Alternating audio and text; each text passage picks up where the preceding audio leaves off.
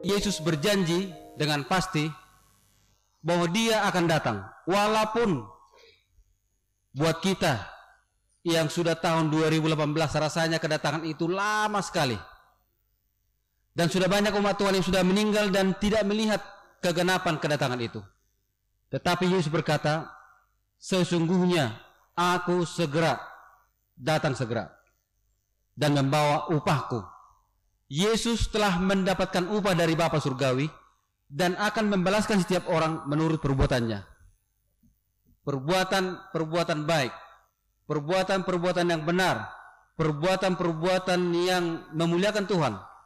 Sesungguhnya semua akan mendapat balasan dari Yesus. Karena Yesus telah melakukan dengan sempurna segala firman Tuhan. Setiap titik koma perintah Tuhan telah dilakukan oleh Yesus dengan sempurna dan dia akan memberikan upah yang diterimanya itu kepada saudara-saudaranya yaitu kita yang setia mengikuti kehendak Bapa yang di surga. Dia berkata ayat 11, Aku adalah Alfa dan Omega, yang pertama dan yang terkemudian, yang awal dan yang akhir. Dia memberikan jaminan yang pasti. Sebagaimana dia adalah yang awal dan yang akhir, Alfa dan Omega artinya segala sesuatu berawal dan berakhir pada dirinya, maka janjinya itu tidak perlu diragukan. Janjinya itu pasti. Dan ayat 14 dikatakan, berbahagialah mereka. Siapa yang berbahagia itu? Yang membasuh jubahnya. Mereka yang membasuh jubahnya. Bagaimana caranya mereka membasuh jubahnya?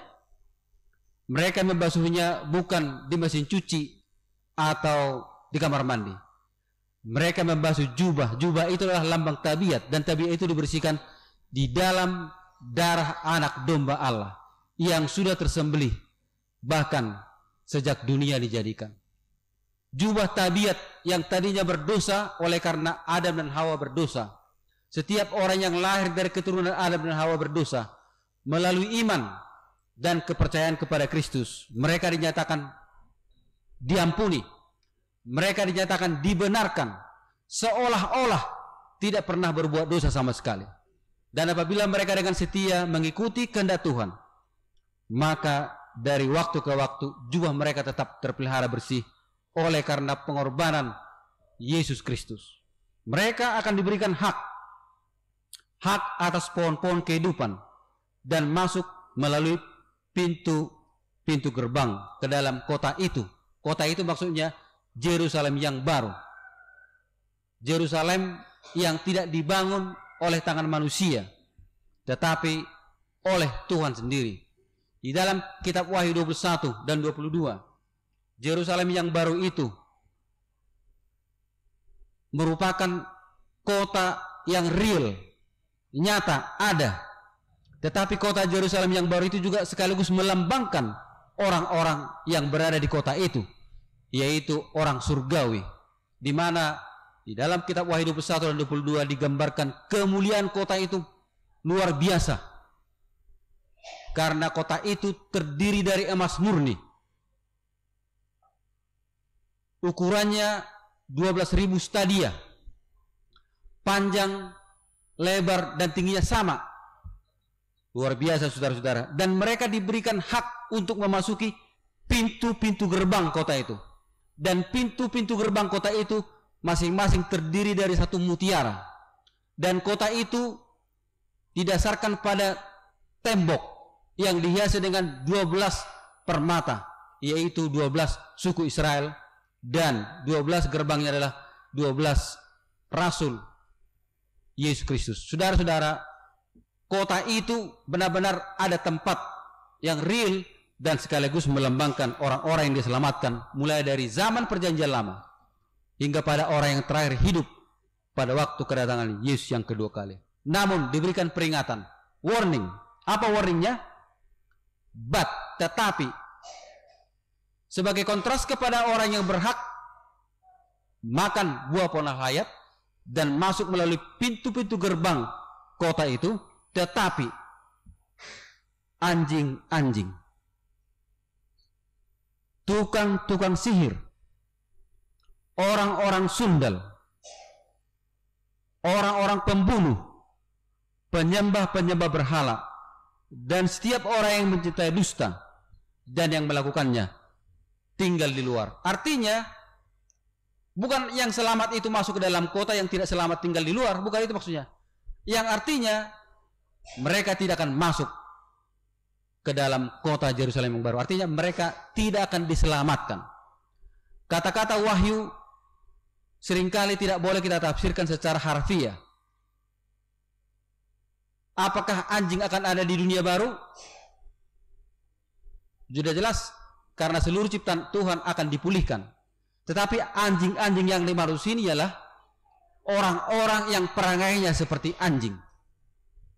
Orang-orang yang melaksanakan sihir. Orang-orang yang bersundal. Orang-orang yang membunuh, tidak mengasihi. Menyembah berhala dan mencintai dusta. Mereka akan tinggal di luarnya, tidak akan masuk ke dalam kota itu. Yang masuk siapa?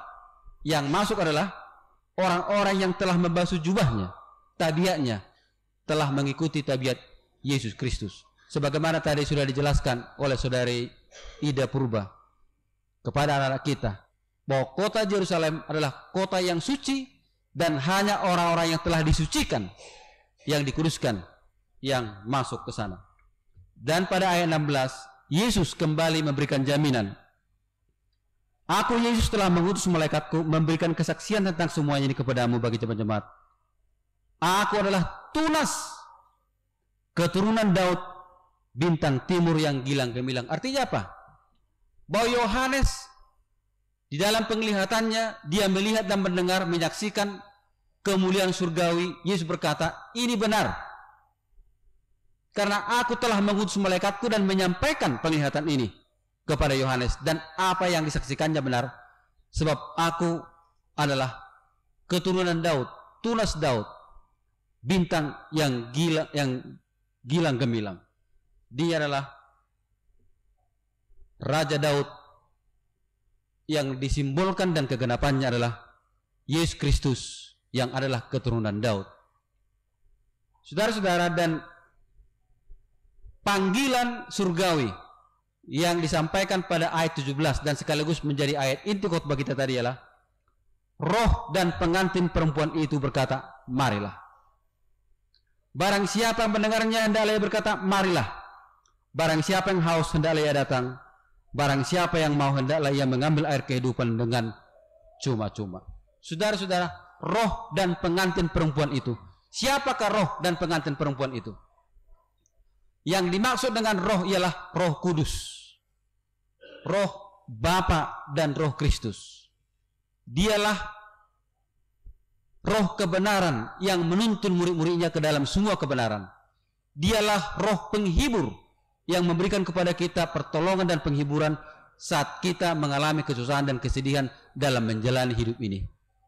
Saudara-saudara, ada sekelompok orang-orang muda kita yang selama ini giat menginjil, yang menamakan dirinya ya di dalam grup WhatsApp Trinity Doctrine Exposed.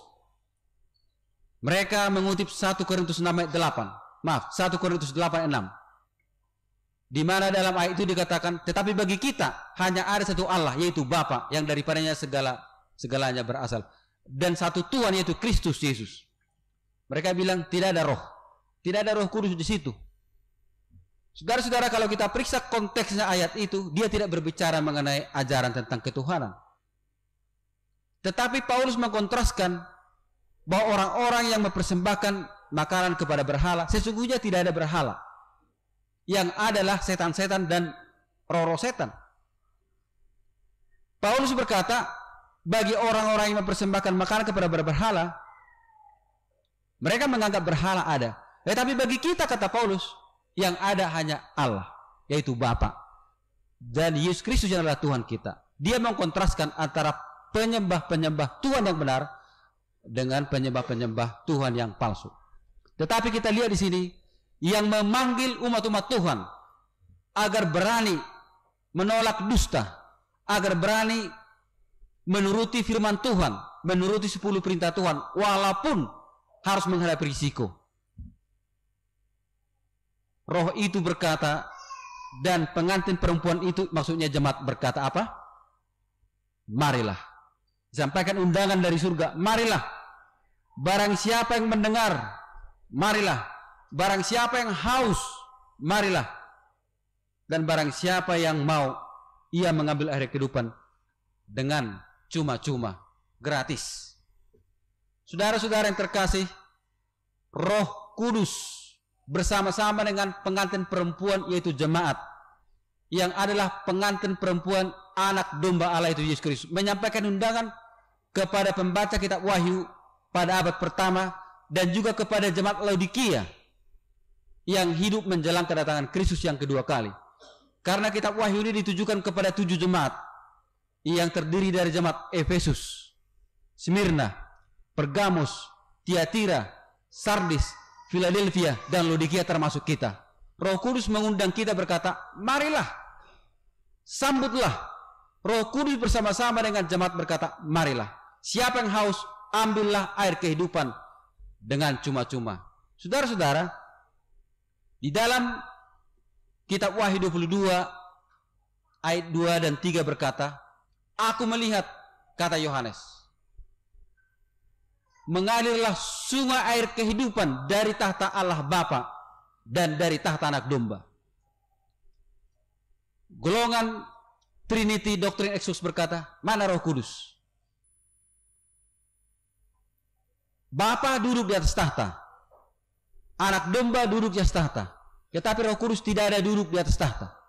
Berarti Roh Kudus bukanlah pribadi. Saudara-saudara, di dalam kitab Wahyu, Roh Kudus dilambangkan dengan sungai yang mengalir keluar dari tahta Bapa dan anak domba. Yang dilambangkan dengan air hidup.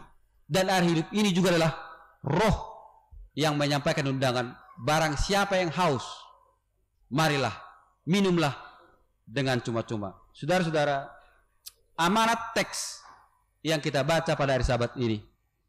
Roh Kudus mengundang orang-orang yang mendengar. Karena kitab Wahyu tujuh kali berkata, barang siapa yang bertelinga, hendaklah mendengar. Tujuh kali. Satu peringatan warning yang sempurna. Tujuh kali, barang siapa yang bertelinga hendak mendengar. Dan dikatakan di sini, Roh Kudus mengundang orang yang mendengar. Tujuh jemaat masing-masing mendengar, termasuk Laodikia. Barang siapa yang mendengar, barang siapa yang haus, barang siapa yang mau, terimalah keselamatan dengan cuma-cuma. Gratis. Saudara-saudara, di dunia ini tidak ada yang gratis. Kalaupun kelihatannya gratis, yang gratis itu sering kali murahan. Tetapi pemberian Tuhan memberikan keselamatan dengan cuma-cuma, bukan dengan percuma ya. Ada lagu sih kita terjemah dulu dengan percuma, bukan percuma. Dengan cuma-cuma free, without any cost. Yang walaupun sebenarnya sangat costly. Karena apa? Karena bayarnya adalah anak domba Allah harus tersembelih bahkan sejak dunia dijadikan. Dia mengundang kita untuk menyambut Inilah panggilan surgawi. Setiap hari kita mendengarkan berbagai suara. Suara apa yang kita dengarkan? Suara kendaraan yang lalu lalang. Saudara-saudara, malam minggu pagi, dini hari, kami yang tinggal di Menteng di kompleks gereja kita, selalu mendengarkan suara mobil balap dengan kecepatan tinggi. Karena mungkin lagi sepi jalan. Saya tidak tahu apakah itu mobil Force atau mobil, pokoknya di kecepatan tinggi mengaum-ngaum di sekitar kompleks Menteng.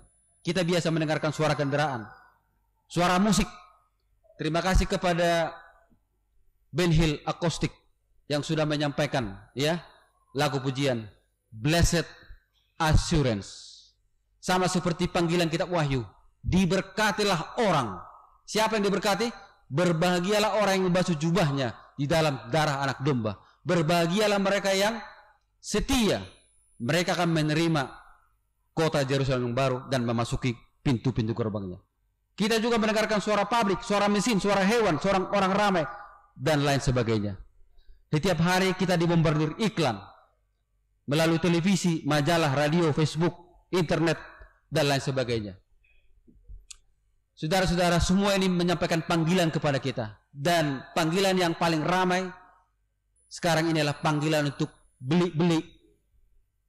Beli-beli.com, Traveloka, apa lagi ya? Tokopedia, buka lapak, buka saja buka lapak, aku laku dan sebagainya. Pokoknya panggilan-panggilan untuk membeli-beli.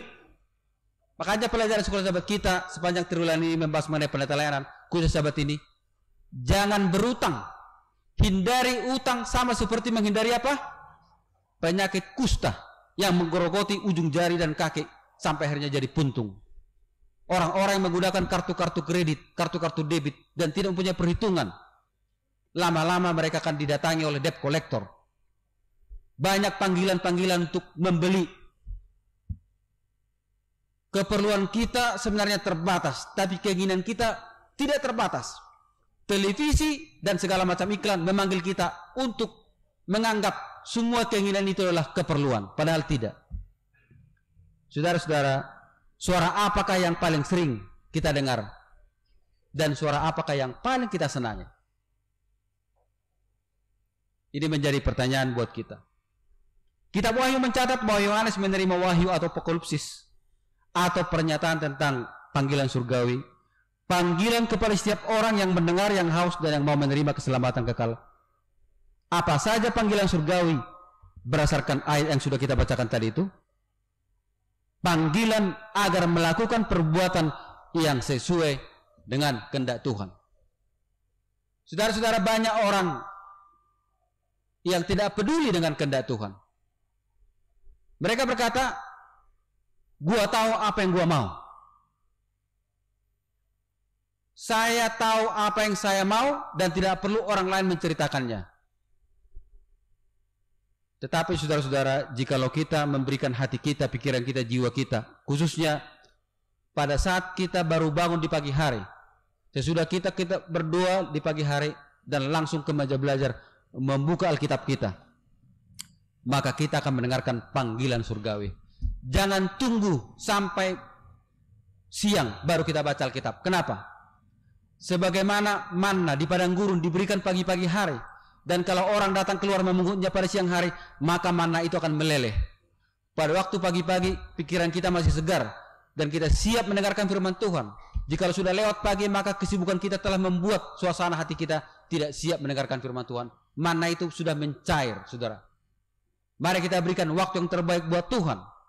Mari kita berikan pikiran kita yang terbaik buat Tuhan, mendengarkan panggilan surgawi agar kita melakukan semua jalan kehidupan kita yang sesuai dengan kehendak Tuhan. Apakah perbuatan kita sudah sesuai dengan kehendak Tuhan? Ayat 14, panggilan yang kedua ialah agar kita mengenakan jubah. Itu tabiat Kristus yang putih bersih. Karena sudah dibasuh di dalam darah anak domba yang sudah tersembelih bahkan sebelum dunia dijadikan. Saudara-saudara, ini adalah metafora atau lukisan. Kalau kita ambil darah dan kita masukkan ke baskom dan kita ambil pakaian dan kita masukkan ke dalam baskom yang ada darah. Apakah pakaian itu menjadi putih? Kalau pakaian itu berwarna putih, maka akan menjadi merah kotor. Tetapi kuasa yang menyucikan dari kehidupan Kristus. Jubah kita pada saat dicelupkan ke dalam darah anak domba yang merupakan satu gambaran. Maka pakaian tabiat kita akan menjadi putih. Tuhan sudah berjanji melalui Nabi Yesaya. Marilah kita berperkara. Kata Tuhan. Sekalipun dosamu merah seperti kermizi Tuhan berkata, Aku akan buat putih seperti salju. Sekalipun dosamu merah seperti kain kesumba, aku akan buat putih seperti bulu domba. Saudara-saudara, hanya kuasa Tuhan yang sanggup membasuh pakaian kita, tabiat kita. Kalau kita bayangkan kehidupan kita masa lalu, semua kita yang ada di tempat ini mempunyai masa lalu yang suram. Tetapi Tuhan tidak memandang masa lalu kita. Asalkan kita mau menerima panggilannya dan melangkahkan hidup kita dengan tuntunan roh Tuhan untuk menjalani masa depan. para pelacur, para pembunuh, tukang bohong, penipu seperti Ayub. Maaf, seperti Yakub. Dia menipu saudaranya, dia menipu ayahnya. Tetapi sesudah dia bertobat, dia pun diperkenan untuk menerima keselamatan. Sampai orang Israel, keturunan Israel disebutkan sebagai lambang dari orang-orang yang diselamatkan. Mulai dari kitab perjanjian lama sampai kepada kitab perjanjian baru. Jubahnya dibasuh, tabiatnya dibersihkan. Anjing-anjing diamarkan di sini, warning supaya meninggalkan semua perbuatan yang melanggar firman Tuhan. Saudara-saudara, pendeta KR Sagala mewawancarai turis yang datang ke Bali. Ternyata yang datang ke Bali ini berasal dari Jerman dan ditanya, mohon maaf katanya, apakah memang orang-orang di Jerman termasuk di Eropa dan lain sebagainya itu uh, sudah banyak yang sudah tidak beragama atau ateis. Yang diwawancari berkata, benar. Apakah benar kalau kalian suka sama suka, ketemu di mana pun bisa tidur bersama-sama? Benar. Yang penting jangan diperkosa atau memperkosa. Apa kalian tidak punya perasaan guilty feeling? Pendeta Karsegala bertanya. Kemudian gadis yang dari Jerman ini berkata, kami tidak mempunyai rasa guilty feeling. Kenapa kami merasakan guilty feeling? Karena tidak ada Tuhan, tidak ada dosa, dan tidak ada kesalahan. Kami melakukan apa yang kami anggap benar. Pokoknya jangan menyakiti orang lain dan tidak mengambil hak orang lain. That's all. Saudara-saudara, generasi hippies tahun 1960-an yang mempunyai slogan free sex You are okay, I'm okay, that's okay. Selagi Anda oke okay dan saya oke, okay, nggak masalah. Do it. Tetapi saudara akan tiba saatnya bahwa Tuhan akan membawa setiap perbuatan ke dalam pengadilan. Entah itu baik, entah itu jahat. Entah itu terang-terangan, entah itu tersembunyi. Dan bukan hanya perbuatan kita yang dibawa ke dalam pengadilan. Kata-kata kita, angan-angan hati kita, relung-relung hati kita yang paling dalam yang tidak diketahui siapa pun kecuali kita semua itu akan dibawa ke dalam pengadilan. Saudara-saudara peringatan. Anjing-anjing tukang-tukang sihir orang-orang sundal pembunuh penyembah berhala yang mencintai dusta dan melakukannya. Tinggal di luar maksudnya tidak akan selamat. Hanya orang-orang yang sudah membasuh jubahnya yang akan masuk ke dalam kota itu. Yesus memberikan jaminan bahwa pesan pekabaran kitab Wahyu benar-benar berasal dari Kristus Yesus, bukan dari malaikat, bukan juga dari Yohanes.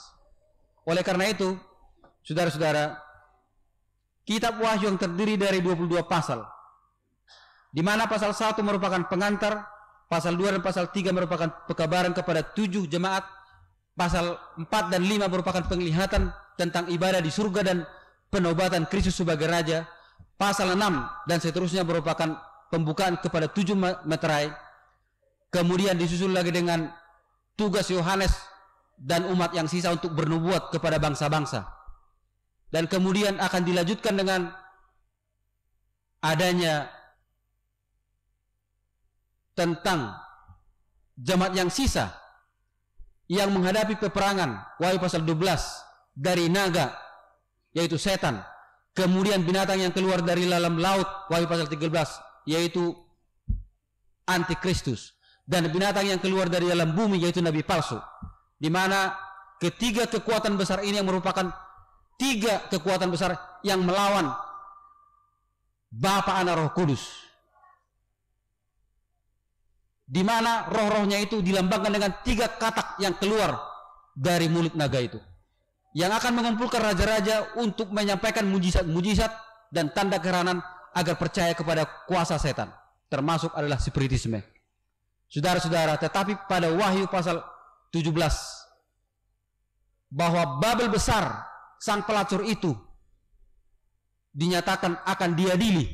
Namun sebelum diadili Wahyu pasal 14 dikatakan Babel besar pelacur itu telah jatuh sudah rubuh. Kemudian Wahyu 18 merupakan nyanyian akan kejatuhan Babel. Wahyu 19 merupakan penghakiman atas Babel. Wahyu 20 setan dan para malaikat-malaikatnya dan semua yang menolak keselamatan akan dilemparkan ke dalam lautan api yang adalah kematian yang kedua. Dan Wahyu 21 adalah aku melihat langit yang baru dan bumi yang baru. Dan kemudian Yohanes melihat tentang kota Jerusalem yang baru dan dilanjutkan Wahyu 22 tentang keadaan dunia baru dan panggilan sahabat ini roh itu dan pengantin perempuan itu berkata marilah barang siapa yang haus marilah barang siapa yang mau marilah saudara-saudara betapa indahnya kita jika lo bisa membaca wahyu secara terus menerus tiga tahun terakhir ini Selain saya membaca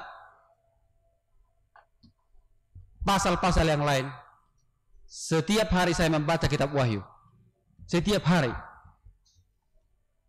Mungkin saya sudah membacanya ratusan kali. Kenapa? Selain saya membaca dari Alkitab saya, bahasa Inggris, bahasa Indonesia, bahasa Batak, saya juga memutar kitab Wahyu audio Bible di mobil saya.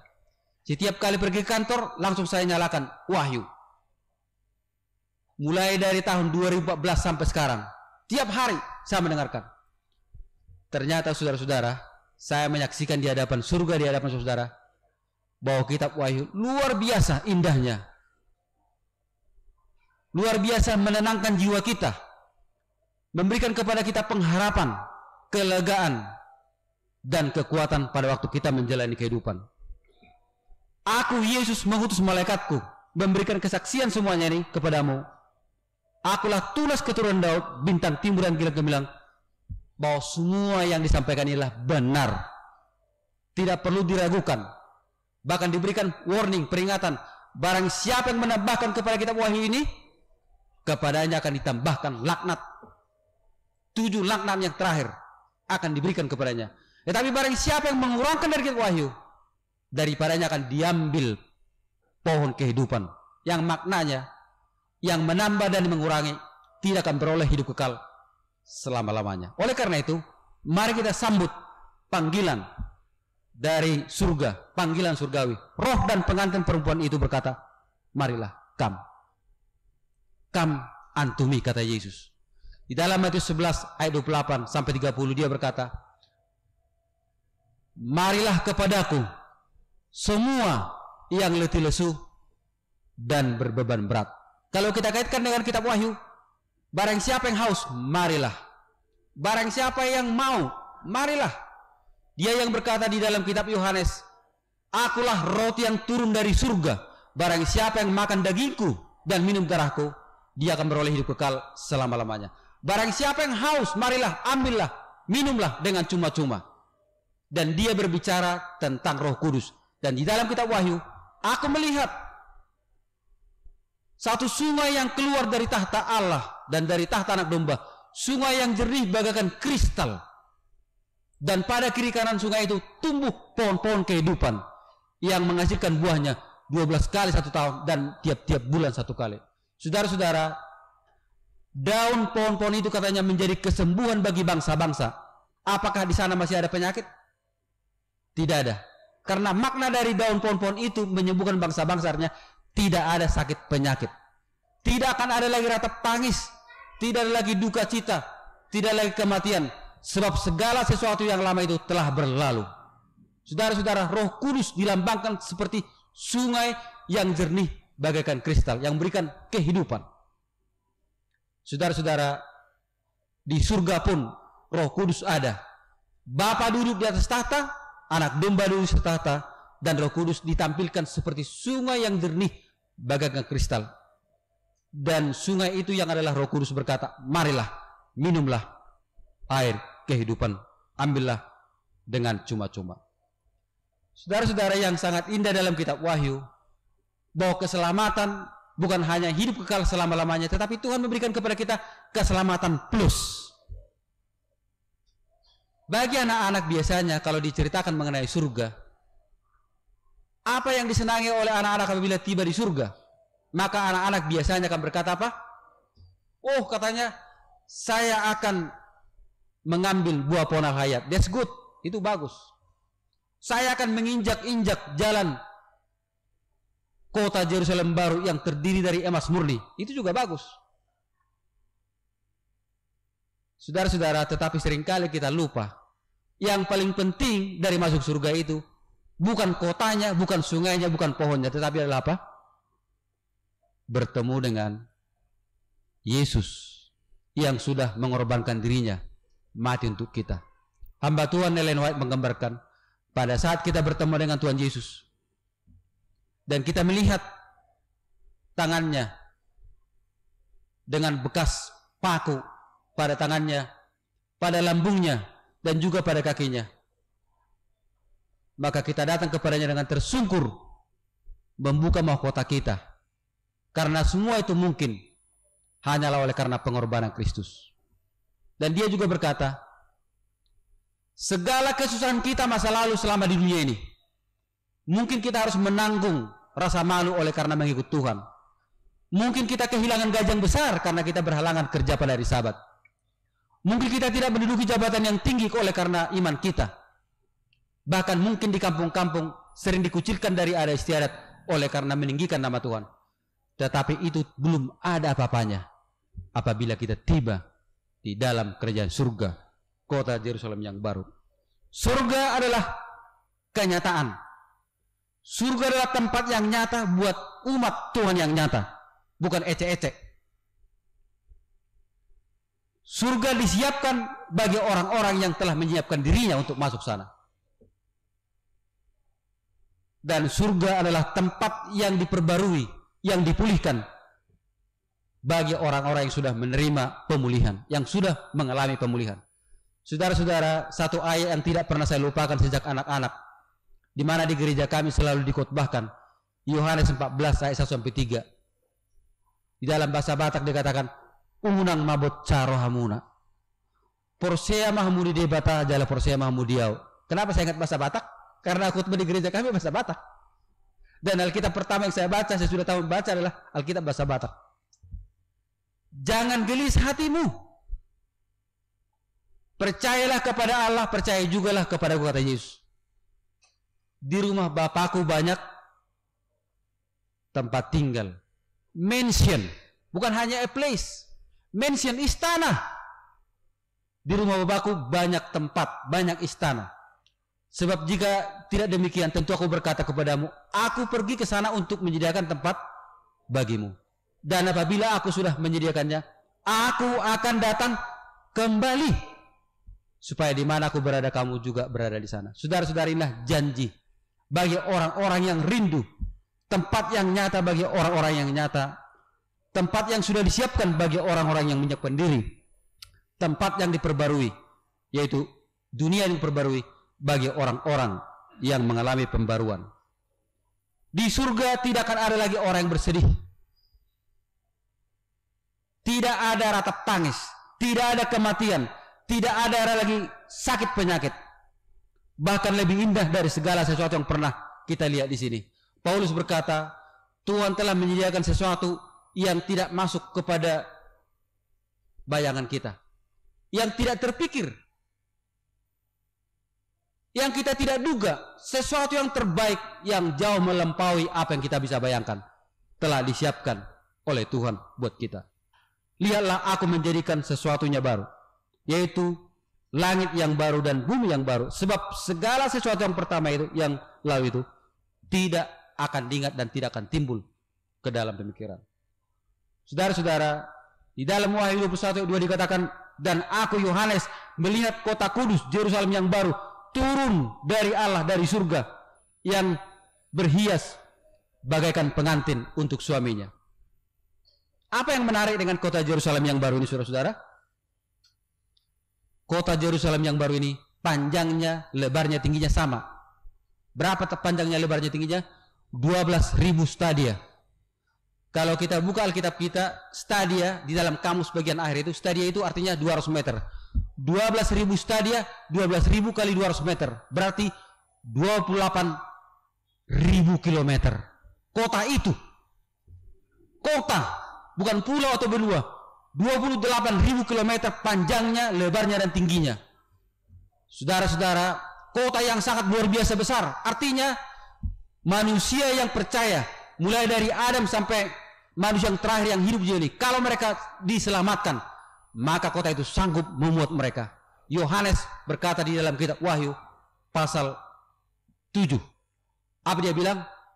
Maka aku melihat suatu kumpulan orang yang tidak terhitung banyaknya dari segala bangsa, suku, kaum dan bahasa bersama-sama dengan anak domba itu di Bukit Sion. Saudara-saudara, didengar jumlahnya 144 ribu. 12 ribu dari masing-masing suku Israel.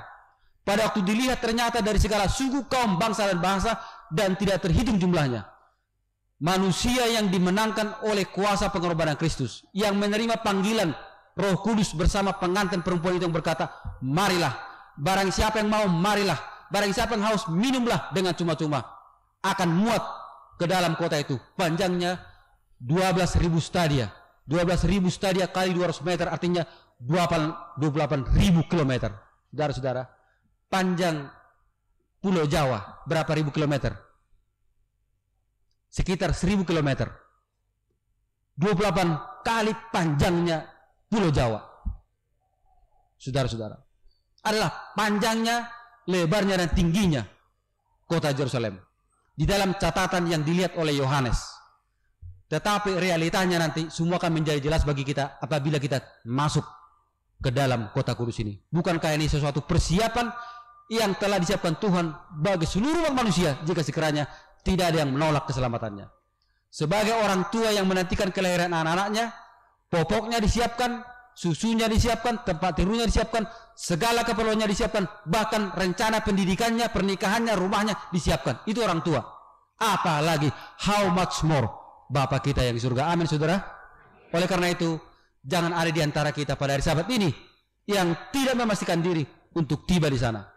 Saudara-saudara, kota itu terdiri dari 12 pintu gerbang, 12. Tiga di timur, tiga di utara, tiga di selatan, tiga di barat. Yang artinya apa?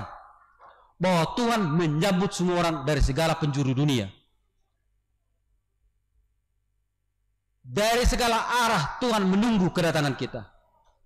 Disambut oleh 12 malaikat dan dimasuki oleh 12 suku secara simbolis yang artinya semua manusia dari sejak zaman perjanjian lama dan kepada manusia yang terakhir yang akan masuk ke dalam kota surgawi.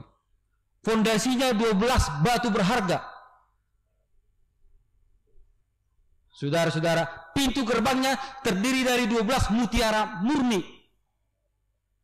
12 gerbang mutiara.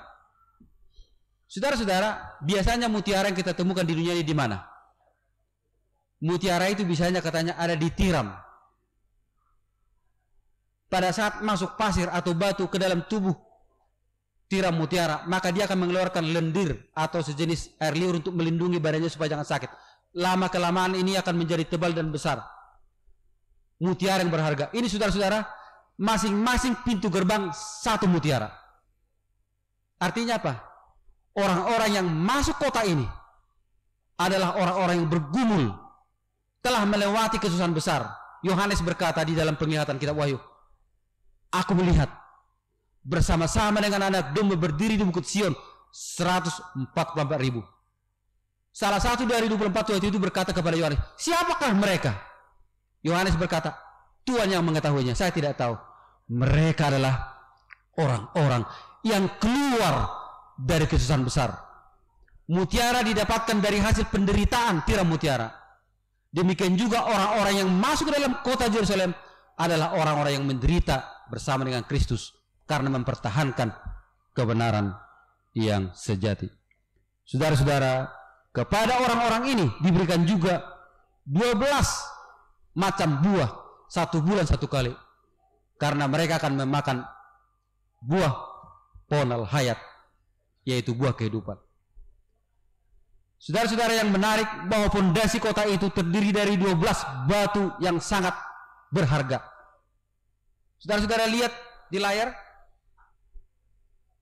bahwa ternyata 12 batu ini mewakili 12 suku Israel. Dan 12 batu ini sebenarnya ada pada tutup efod imam besar. Yang artinya apa? bahwa di hati imam besar adalah 12 suku Israel. Imam itu melambangkan Kristus dan 12 suku Israel adalah umatnya. Berarti di hati Yesus ada kita masing-masing. Amin saudara. Nama-nama kita ada di sana. Setiap orang yang percaya kepada Kristus namanya tertulis dalam kitab kehidupan anak domba.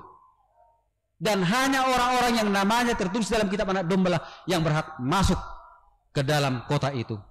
Saudara-saudara, Yesus tidak pernah melupakan kita. Nama kita ada di hatinya, ada di dadanya dan selalu mengingat kita. 12 batu itu saudara-saudara melambangkan warna biru melambangkan kepercayaan, dapat diandalkan, ketenangan. Merah melambangkan kekuatan, semangat dan menghindari dari bahaya. Ada 12 warna ini masing-masing punya kekuatan. Dan semua itu adalah 12 batu yang menghiasi fondasi kota Jerusalem yang baru.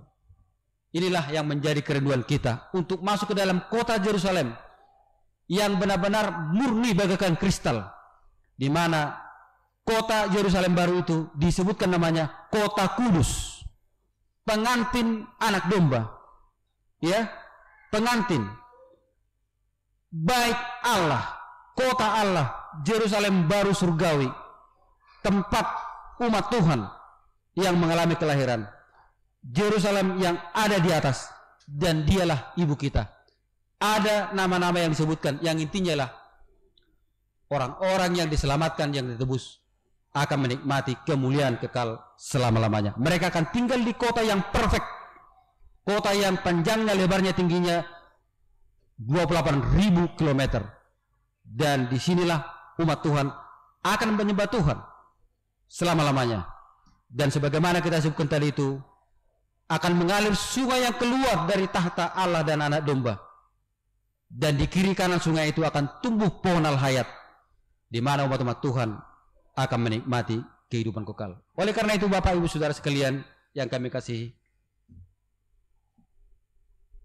Sebagai pengharapan, sebagai panggilan buat kita, mari kita ingat Wahyu 21 ayat 4 yang dikatakan oleh Yohanes. Dan Allah akan menghapus air mata dari mata mereka. Bagaimanakah cara Tuhan menghapus air mata dari mata kita?